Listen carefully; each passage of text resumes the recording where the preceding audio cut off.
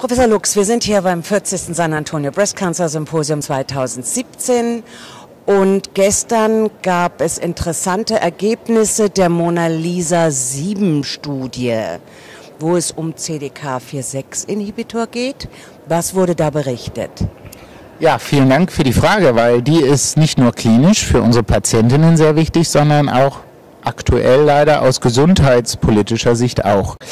Äh, weil der CDK4-6-Inhibitor bei hormonpositiven Mammakarzinom-Patienten der Standard geworden ist.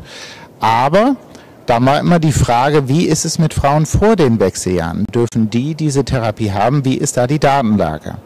Es gab zwar die sogenannte Paloma-3-Studie und in der Paloma-3-Studie wurde Palbociclib mit Fulvestrant eingesetzt plus GNRH bei Prämenopausalen.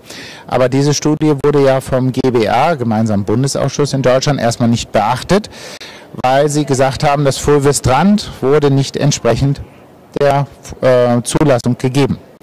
Jetzt kam hier in San Antonio die Mona Lisa-Studie. Im Rahmen dieser Studie haben Patienten prämenopausal, alle Frauen waren vor den Wechseljahren hormonpositiv, die Therapie bekommen entweder mit Tamoxifen plus den CDK4-6-Inhibitor Ribociclib oder Aromatasehemmer mit dem CDK4-6-Inhibitor.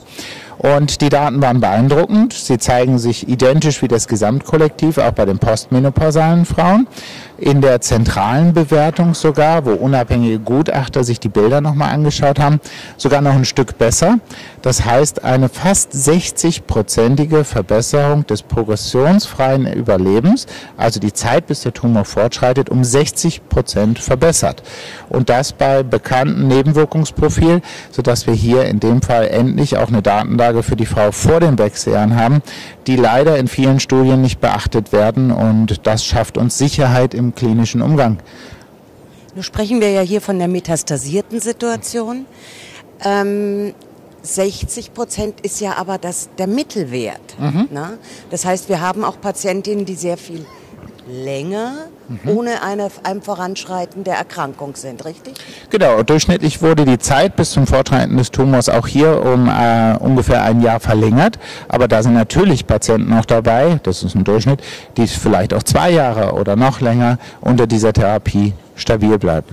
Wenn Sie jetzt sagen, unter dem bekannten Nebenwirkungsprofil, mhm.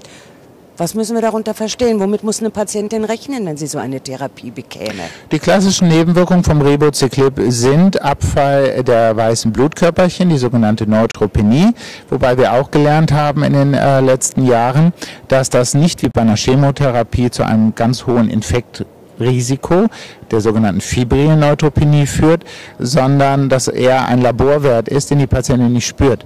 Man muss ihn natürlich kontrollieren, um, ähm, falls die Werte sehr stark abfallen, auch eine Pause oder eine Reduktion der Dosis durchzuführen. Aber es sind Nebenwirkungen, die die Patientin nicht in ihrem täglichen Leben fühlt. Also die Lebensqualität ist hervorragend im Vergleich zu einer Chemotherapie. Weitere klassische Nebenwirkungen wären zum Beispiel auch mal Erhöhung der Leberwerte.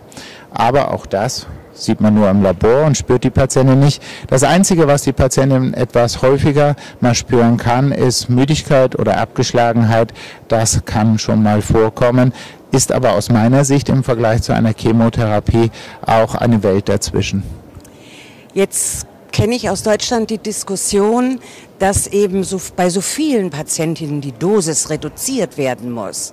Jetzt haben wir aber gestern bei der Mona Lisa gesehen, dass es bei fast allen nur ein einziges Mal war, also mhm. bei einem einzigen Zyklus. Äh, kann man dann davon ausgehen, dass das ein irrelevanter Punkt ist? Es ist, äh, ob man jetzt von Dosisreduktion spricht, in meiner Klinik spreche ich gerne mit meinen Patienten und sage eher Dosisfindung. Das klingt natürlich positiver.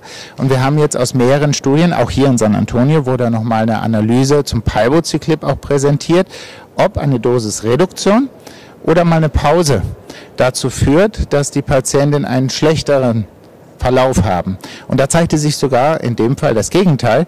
Die Patienten mit Dosisreduktion und Verlängerung hatten unter dem Palbociclib eine längere Zeit bis zur Progression. Das schafft Sicherheit und wird sicherlich noch durch weitere Studien äh, bestätigt.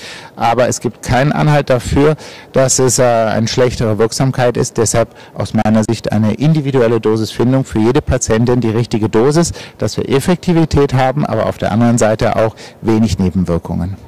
Vielen herzlichen Dank.